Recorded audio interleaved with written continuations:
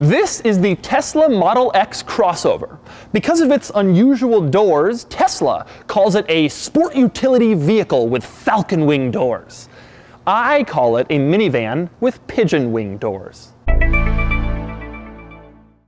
Now, I've borrowed this vehicle using a service called Turo, which is this company that lets you rent other people's cars instead of the usual boring rental cars. Turo gave me a budget to rent cars, and I'm using that budget to review cars that manufacturers otherwise probably wouldn't let me drive. And Tesla surely wouldn't give me a car. After all, I once wrote that the Model S isn't cool anymore. I've argued with their sales proclamations.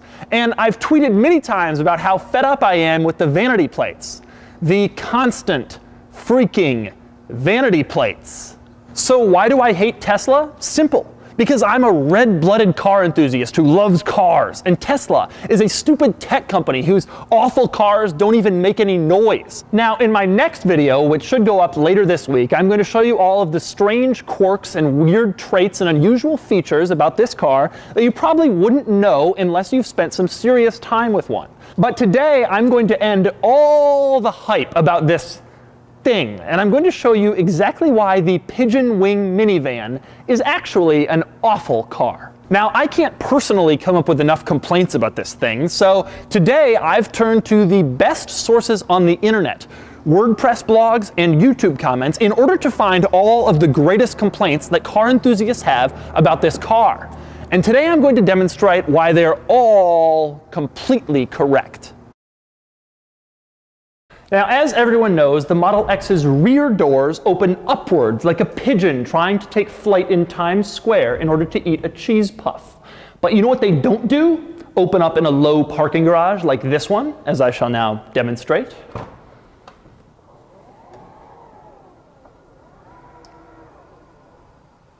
Darn it! Okay, fine, the doors can open in a low parking garage. They'd better be able to. But the biggest problem with the pigeon wing minivan's pigeon wings is that they won't open if you're parked tight and close next to someone. Allow me to demonstrate. I can easily get into this random individual's unlocked car. Takes a little work, but I'm in. No problem. But the pigeon wing minivan's pigeon wings are so big and bulky, there's no way they open in this tiny little space.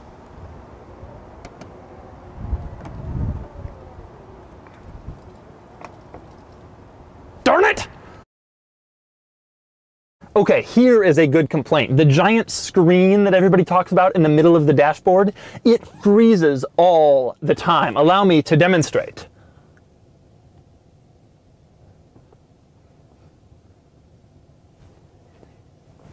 One second.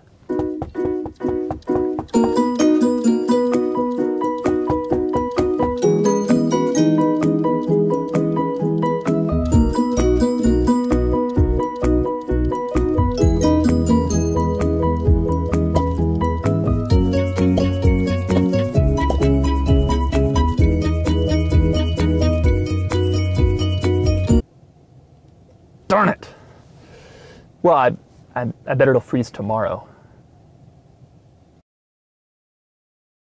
Okay, here's a great complaint. Tesla's autopilot system is glitchy. Now, we all know Tesla has had a few problems with their autopilot system, and that's because it is not production ready. It shouldn't be in a production car, open and available to members of the public. And today I'm going to show you just how bad it is. I've rigged up a little test. I have my friend Filippo in the driver's seat of the Model X with autopilot engaged. Now, it isn't going to sense me, it's going to hit me, it's going to injure me, and then I'm going to sue Tesla because the pigeon wing minivan is is terrible. Here goes.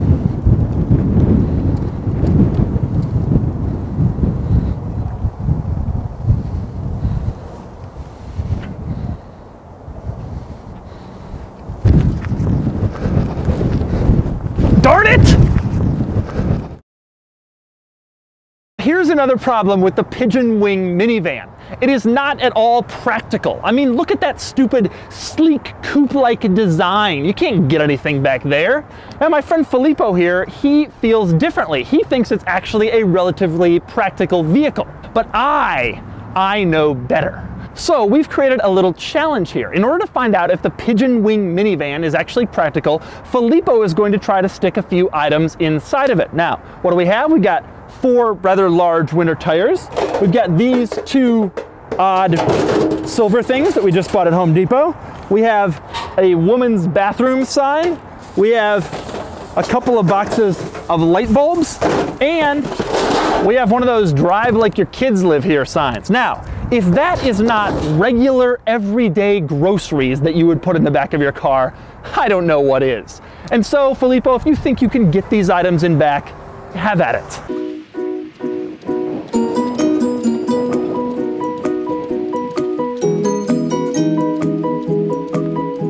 Okay, fine, fine. You've gotten the tires in, but you've forgotten about your entire Home Depot cart worth of other items, and there is no more room.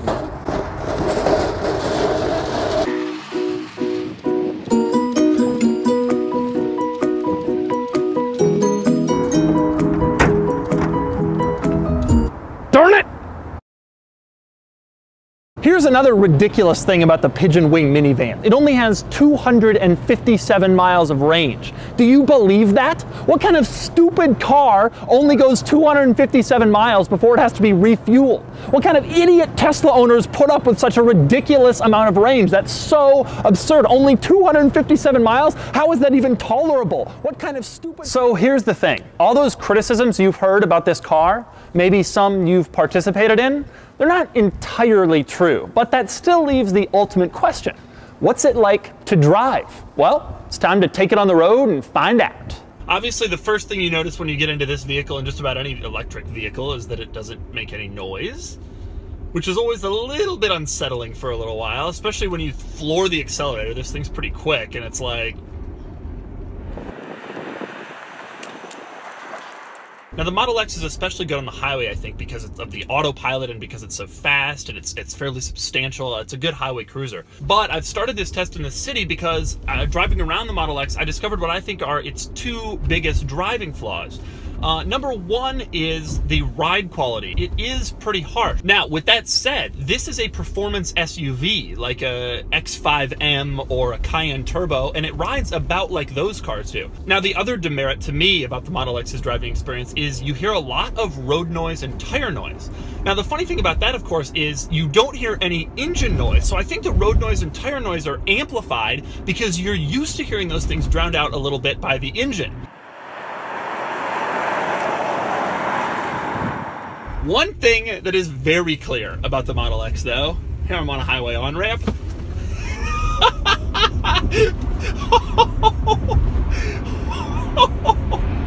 wow.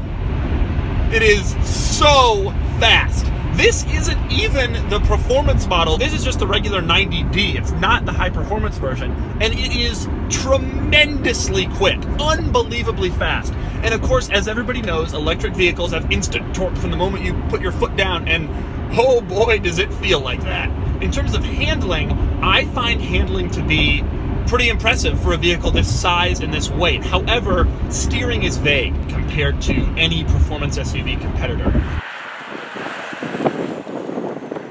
One complaint that a lot of people have had about this car is the glass, which actually you can see is above my head. That's still the windshield. That's not a sunroof. People have complained about this. They said that it brings in too much heat, that they don't like it. These people are idiots. They're completely wrong. The windshield glass is awesome. You get this incredible panoramic view over the whole car. It's super, super cool. I wish all cars had it. Another crazy thing about the acceleration, we've just done, you know, zero to 60. Here's 70 plus, and it's still kind of jolts you back in your seat.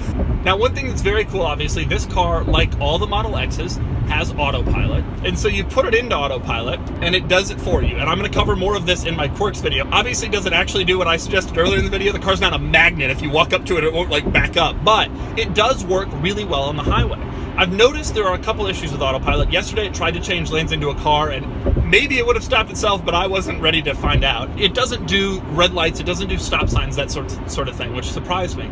But other than that, it's so cool. On the highway and in heavy traffic, autopilot is the greatest thing in the world because it just works 99.9% of the time and it works well with two holes of the cruise control stock. You feel like you've transported yourself deep into the future. It's awesome. So, my final conclusion? Well, the Model X does have some flaws, but not really so much the ones I showed you before that people seem to get so mad about. First, there's the styling, and regardless of whether or not you personally like it, you have to admit it's been kind of polarizing ever since this car came out. Next, the fit and finish and interior materials aren't quite as good as most luxury brand rivals. Just look at how much wear this driver's seat has after only 8,400 miles traveled. It's also pretty easy to notice things like the misaligned trim and panels that don't quite fit right. But that's part of the price you pay for being an early adopter of a brand new car with a lot of brand new features. And then there's my biggest personal gripe, which is the roof rack situation. Now, because of these trick doors, you can't mount a roof rack on this thing. Instead, Tesla suggests that you try to do this. I personally find that laughable, and so will anyone who's ever actually used a roof rack. It's a bit like calling your landlord and telling him that your toilet's broken, and he says, hey, just use the sink. But in general, I think this thing is pretty cool. And I say that as someone who has made fun of Tesla and its cars and its obsessive owners and their stupid vanity plates in the past. Why is the Tesla Model X an awful car? It isn't. And you'd better get ready because this might just be the future.